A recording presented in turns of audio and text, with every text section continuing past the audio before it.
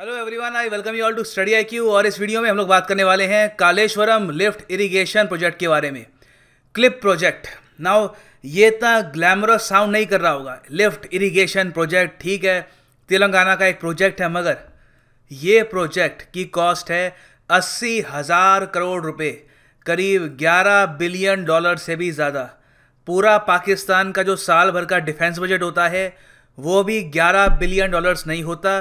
उतने का ये इरिगेशन प्रोजेक्ट है और ये तेलंगाना में लाखों किसानों के लिए एक वरदान साबित होगा। बहुत ही बड़ा प्रोजेक्ट है। दुनिया का सबसे बड़ा लिफ्ट इरिगेशन प्रोजेक्ट है।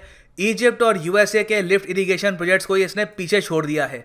And we should all be proud of this sad बात है कि मेन स्ट्रीम मीडिया इसको इतना कवर कर नहीं रहा। हम लोग तो खैर यूपीएससी परस्पेक्टिव से इसको पढ़ रहे हैं तो इसलिए कवर कर रहे हैं। मगर मैं मानता हूँ कि देशवासियों को भी इसके बारे में पता होना चाहिए कि हमारा देश इंजीनियरिंग में कितना आगे निकल चुका है और हम कितने बड़े प्रोजेक्ट्स कंस्ट्रक्ट कर रहे हैं। तो जानेंगे इस प्रोजेक्ट के बारे में। Without doubt a lot to know a lot to discuss as always but before we begin UPSC 2020 की तैयारी आप घर बैठे शुरू कर सकते हैं with our pen drive courses जिन्हें आप परचेज कर सकते हैं स्टडी आई डॉट कॉम पे, या फिर आप इस नंबर पे कॉल भी कर सकते हैं nine five eight double zero four eight double zero four now इस इरिगेशन प्रोजेक्ट की आजकल बातचीत क्यों हो रही है? क्योंकि इसको इनाग्रेट कर दिया जा चुका है। अब ये फंक्शनिंग है। रिसेंटली इसको इनाग्रेट किया था तेलंगाना के चीफ मिनिस्टर के चंद्रशेखर राव ने और इस पूरे प्रोजेक्ट को कंस्ट्रक्ट किया था एम ई आई एल यानी Megha engineering and infrastructure limited ने। नाउ ऑफ़ कोर्स बाकी जो स्टेट्स हैं, आसपास की स्टेट्स उनके चीफ मिनिस्टर्स भी इनाग्रेशन के टाइम यहाँ पे प्रेजेंट थे। For example chief minister Devendra Fadnavis और उसके अलावा आंध्र प्रदेश के chief minister Y S Jaganmohan Reddy भी यहाँ पर मौजूद थे। और इस प्रोजेक्ट को ना सिर्फ़ इंडिया में, दुनिया भर में कवर किया जा रहा है, यहाँ पर आप देख सकते हैं, वॉशिंगटन पोस्ट, उसके अलावा न्यूयॉर्क टाइम्स, हर जगह इस मैसिव इरिगेशन प्रोजेक्ट को कवर किया जा रहा है, क्योंकि इसकी कॉस्ट ही, जैसे मैंने आपको बताया eighty thousand four hundred and ninety nine crore rupees है। ना इस प्रोजेक्ट के बारे में समझने से पहले एक बार तेलंगाना की जो लोकेशन है मैप में, ये प्रॉपरली समझ लो। यहाँ पे आप देख रहे हैं, ये है हमारा प्यारा भारत। यहाँ पे मैंने स्पेशली तेलंगाना को मार्क कर रखा है। ये है तेलंगाना। तेलंगाना की राजधानी है हैदराबाद। और आप देखेंगे कि तेलंगाना एक लैंड लॉक्ड स्टेट है हमारी। बहुत सी इंपॉर्टेंट स्टेट के साथ अपनी बॉर्डर भी शेयर करती है, जैसे महाराष्ट्र, छत्तीसगढ़, आंध्र प्रदेश, कर्नाटका। ना अब तेलंगाना में दो इंपॉर्टेंट नदियाँ हैं, उसको मैं आपको बड़े मैप पे दिखाना चाहता हूँ। ना नॉर्दर्न तेलंगाना में यहाँ पे आप देखोगे कि दो नदियाँ आ रही हैं। यहाँ पर एक नदी यहाँ से आ रही है। और एक नदी यहाँ से आ रही है। जो ये नदी आ रही है, ये है गोदावरी। बहुत ही फ़ेमस नदी है, इसके बारे में आपने काफ़ी सुना होगा, ठीक है? तो दिस इज़ गोदावरी। यहाँ से आ रही है और उसके बाद यहाँ पे आके एक और नदी से ये मिल रही है। ये नदी है Pranahita river P R A N H I T A Pranahita river. तो प्रणहिता और गोदावरी यहाँ पर मिलती है कालेश्वरम के करीब। कालेश्वरम एक बहुत ही स्पिरिचुअल जगह है, यहाँ पे एक मंदिर भी है, काफ़ी आस्था लोगों की उस पर। और यहीं पर ये दोनों नदियाँ मिलती है। अब क्या है कि ये दोनों नदियों का यहाँ पर फ्लो बहुत ही तेज़ होता है, काफ़ी पानी यहाँ से गुजरता है।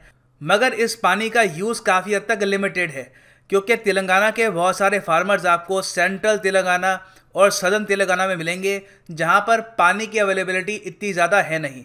तो यहाँ पे सरकार ने ये सोचा कि क्यों ना हम ऐसा एक लिफ्ट इरिगेशन प्रोजेक्ट बनाएँ, जिससे यहाँ से पानी ऑल द वे हम सदर्न पार्ट्स तक लेके जाएँ।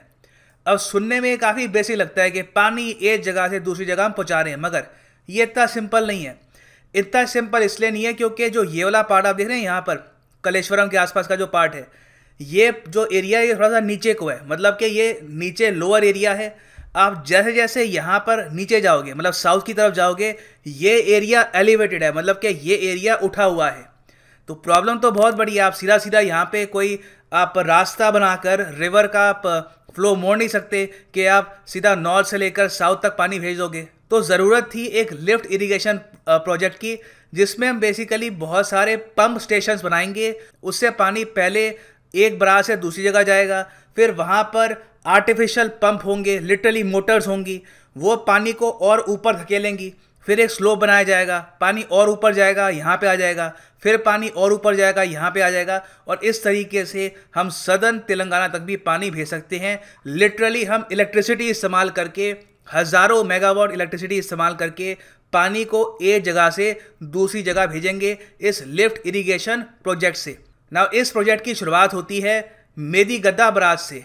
यहाँ पे आप देख रहे हैं, यह मेदी गद्दा बराज, ये मैं आपके लिए चेंज कर देता हूँ। यहाँ पे आप देखोगे ये आपको दिख रहा है, बहुत ही बड़ा बराज अभी आपको अलग एक फ़ोटो में भी दिखाऊँगा। तो यहाँ पर बेसिकली हम पानी रोक रहे हैं। इन्होंने खूब सारे पंप्स यहाँ पे इंस्टॉल कर रखे हैं। फिर ये जो पंप्स हैं, ये पानी को आगे भेजते हैं, जो नेचुरली पॉसिबल नहीं है, क्योंकि ऑफकोर्स ये वाला एरिया जो है, ये एलिवेटेड है कंपेयर टू दिस एरिया तो इसलिए मैं कहूँगा, ये प्रोजेक्ट जेनुअनली एक बहुत ही बड़ा इंजीनियरिंग मार्वल है। तो यहाँ पे मैं आपके लिए कुछ फ़ोटोज़ प्रेजेंट कर रहा हूँ। उससे आप समझ पाएँगे कि ये प्रोजेक्ट कितना ज़्यादा ह्यूज है। ये एक फ़ोटो है। ये एक इसका एक एरियल शॉट है बराज का, जो मैंने आपको अभी मैप में दिखाया था। फिर ये पंप स्टेशन हैं। हर कुछ किलोमीटर्स में इन्होंने पंप स्टेशन इंस्टॉल कर रखे हैं। ये पंप स्टेशन अभी के लिए तो यहाँ पे खाली है।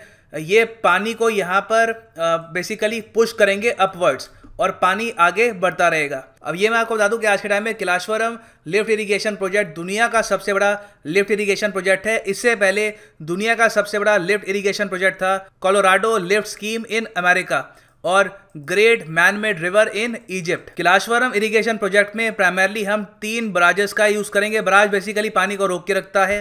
उसके अलावा 1531 किलोमीटर के ग्रेविटी कैनाल होंगे मतलब के पानी को और ऊपर भेजेंगे वो। 203 किलोमीटर्स की यहाँ पे टनल होंगी 20 लिफ्ट होंगी और 19 पंप हाउसेस, जो मैंने आपको अभी यहाँ पर दिखाए थे, पंप हाउसेस, जो पानी को और ऊपर धकेलेंगे और 20 रेजरवायर बनेंगे, क्योंकि जहाँ पे पानी जा रहा होगा, उसको वहाँ पे स्टोर भी कर लेंगे वो लोग। 37 लाख एकर्स का लैंड इरिगेट होगा। अब ऑब्वियसली यहाँ पे आप पूछेंगे कि तो हम इलेक्ट्रिसिटी इस्तेमाल कर रहे हैं तो कितनी इलेक्ट्रिसिटी यहाँ पे लगेगी? टोटल यहाँ पे इनिशियली 4992 मेगावाट इलेक्ट्रिसिटी हम यूज़ करेंगे। बाद में इसकी रिक्वायरमेंट बढ़कर करीब 7100 मेगावाट भी हो जाएगी इतने सारे पानी को लिफ्ट करने के लिए। मगर मैं कहूँगा ये सब वर्थ इट है, क्योंकि इससे लाखों किसानों का कल्याण होगा। और तेलंगाना में जो फार्मर सुसाइड रेट है, वो भी काफ़ी हद तक कम होगा, जो ऑफ़ कोर्स सबसे अच्छी बात है। सबसे ज़्यादा दुख यही होता है कि हमारे देश में फार्मर सुसाइड करते हैं। अगर फार्मर्स की सुसाइड रोकने के लिए हम कोई भी कदम उठाएँ that is a welcome step तो फाइनली पानी का जिस तरीके से भाव होगा, ये मैं आपको इस मैप के ज़रिए दिखा देता हूँ। अभी जो बड़ा मैप था, वहाँ पे मैंने आपको मेरी गदा दिखाया था। सबसे पहला जो बराज था तो मैं यहाँ पे जूम इन कर दूँगा आपके लिए। तो यहाँ पे मेरी गदा से पहले हमने गोदावरी रिवर जो है, उसका रुख मोड़ा, पानी यहाँ पे एक्चुअली रिवर का रुख तो नहीं मोड़ा रिवर भी आगे फ्लो करती रहेगी। बेसिकली कुछ पानी यहाँ पे डाइवर्ट किया इस बराज से। उसके बाद हम यहाँ पे इसको इस तरीके से फ्लो करवा के ऑल द वे यहाँ पर इसकी जो फाइनल डेस्टिनेशन है कोंडा पंचामा यहाँ तक पहुँचा देंगे, ठीक है? तो ये ये पूरी इसकी एक ट्रेजेक्ट्री होगी पानी की।